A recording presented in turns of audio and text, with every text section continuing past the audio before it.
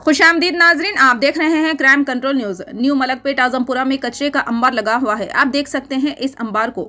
इस जानिब जीएचएमसी के अमले के अलावा मुकामी कॉरपोरेटर भी कोई तवज्जो नहीं दे रहे। इस कचरे के अंबार की वजह से माहौल में ताफुल फैल रहा है और मुकामी लोग इससे मुतासर हो रहे हैं और राहगीरों को चलने फिरने में दुश्वारी हो रही है। मुकामी लोग कई बार जीएचएमसी में इसकी शिकायत कर चुके हैं, लेकिन इस जानब लापरवाही बरती जा रही है। एक तरफ़ कोविड वबा से अवाम मुतासर हो रहे हैं, दूसरी जानब ऐसे कचरे के अंबारों से बूढ़े बच्चों के अलावा दूसरे भी बीमार हो रहे हैं। कचरे का अंबार रोड तक पहुँच चुका है। मुकामी एक शख्स ने जीएचएमसी और मुकामी कॉरपोरेटर से अपील की कि इस जानब तवज्जो देते हुए इस मसले को हल करें ताकि मुकामी लोग राहत की सांस लें। आइए सुनते हैं मुकामी शख्स की जुबानी।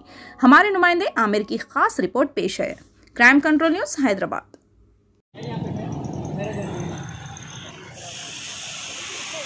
मेरा नाम मोहम्मद सलीम है।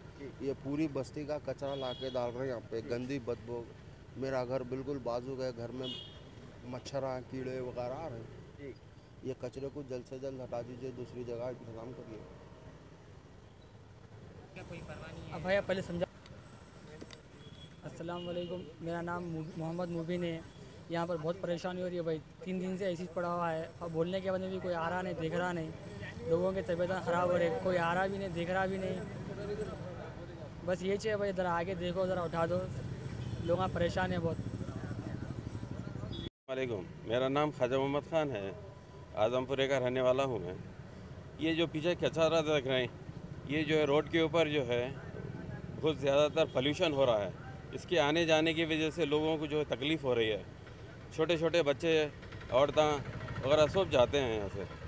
ज़्यादातर लोगों को तकलीफ़ हो रही है। हम जीएचएमसी वालों से गुजारिश करते हैं कि ये कचरा जल्द से जल्द हटा दें और यहाँ से बिल्कुल बर्खास्त कर दें।